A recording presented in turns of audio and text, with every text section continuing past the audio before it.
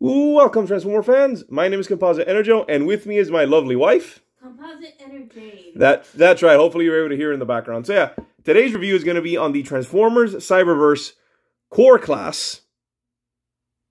Not fan of the name, but Core Class uh, Dracodon, and here he is in his alt mode, which is a bright green, almost radioactive, one might say, bright green with gold accents. Uh, fossil, like like a skeleton fossil, a skeleton.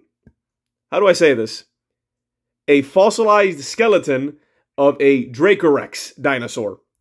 For those of you who don't know, a Dracorex is in the same family as a Pachycephalosaurus, and for those who don't know what that is, it's the dinosaurs that butt heads. Jane, do you know what I'm talking about? Vaguely. Vaguely. It, it if you okay, did you ever see The Land Before Time? Okay, in the very beginning of the movie, it was the two. I, man, what did they call them in the movie? The, the uh, boneheads, the chrome domes. I don't remember what they called them, but it was the two dinosaurs that would that would that would ram each other and headbutt each other. Yes. Yes, this dinosaur is in that general family, but it's a little bit smaller, if I remember correctly. So yeah, that's what this is. Nice. It's kind of neat that they used uh, uh, they used an obscure dinosaur within within an, an obscure dinosaur. So that's what this fossil is. Now he is not a fossilizer. You can't really take him. He can't. He's not like his the other deluxe class fossil uh, transformers, which are known as fossilizers. He's not that because he doesn't really separate and become weapons and armors for other characters. No, he's more of a standard transformer. It's weird how only this mold is the only one that does it, and I say that because um, Dracodon here is a repaint of Vertebrake, who was part of the first wave of core uh, core figures, which he was just more like of a dull, dark, and brownish color, more like I guess older bones.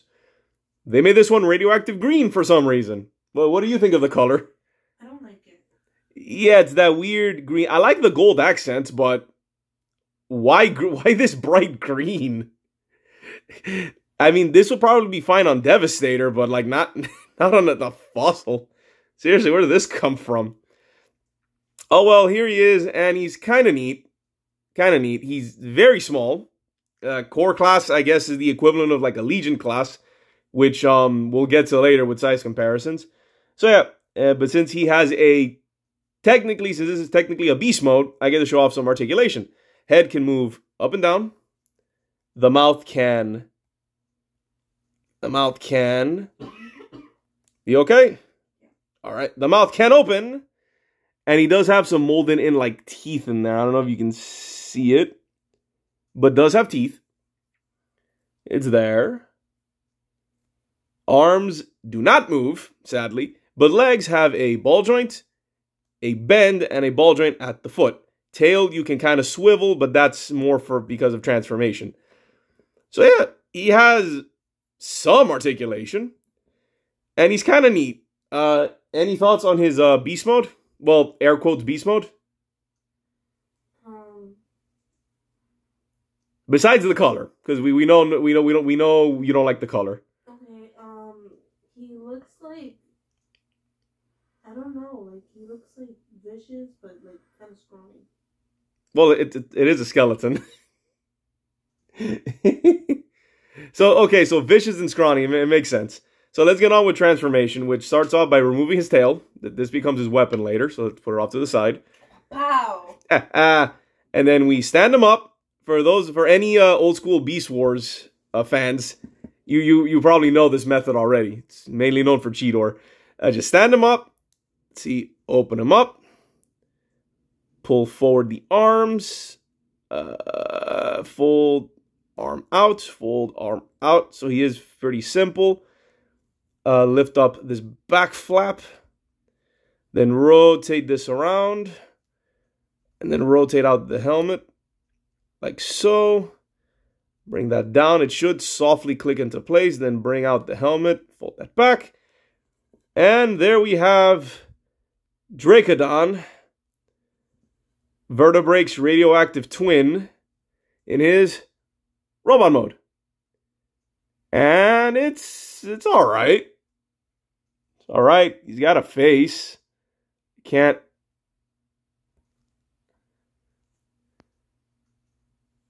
Hold on, let's. uh There we go. Small. So yeah, there's a good shot of his face since he's actually a pretty small figure. So yeah, it's pretty cool.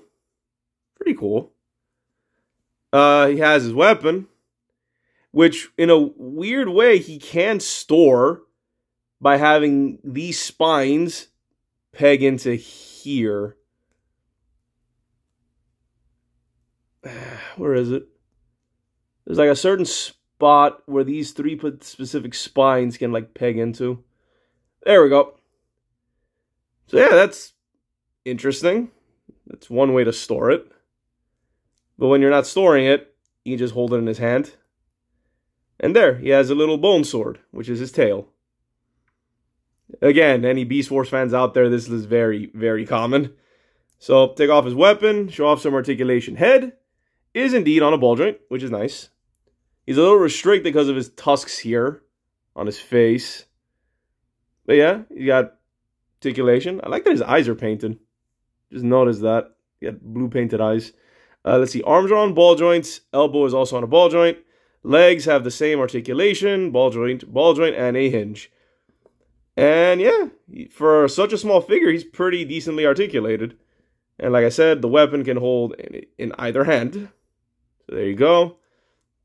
I'm going to store it on his back by just plugging it in there. And yeah, so uh, Jane, what do you think of his robot mode?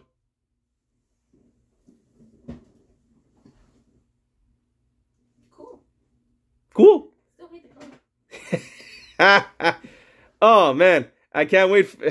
I wonder what your reaction will be when you see the the Titan Devastator or the Titan G1 Devastator. You'll definitely hate that highlighter green. I certainly do. But figure's awesome. So yeah, let's do some size comparisons. Here we have a deluxe ratchet. And here we have Legion Cliff Jumper. As you can see, he's only slightly bigger than him. So I would equate this to being closer to a commander class. Not the new commander class, which is ridiculously overpriced, but what used to be called commander class around the around the sort of beast hunters era, which was bigger than a legion but smaller than a deluxe. So what was it? What was it? What was originally like a legends class? I guess this is a this is like a weird middle middle area. Yeah, overall he's a pretty he's a pretty okay figure, pretty decent. It's a bit too small for my liking, and it is weird how this this specific fossil doesn't like separate. I don't get the point of this one. And they did nothing else, so yeah, I don't get why they just had the one mold and then they repainted once and then they did nothing with it. This almost felt like an afterthought.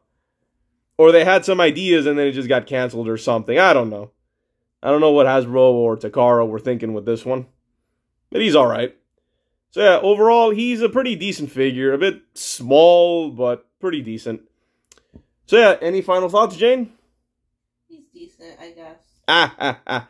Exactly. So yeah, uh, this has been our review of the Transformers King, the Transformers Kingdom uh, core class Dracodon, and this is both Composite Enerjoe and Composite Enerjane. signing off. Peace. Peace out.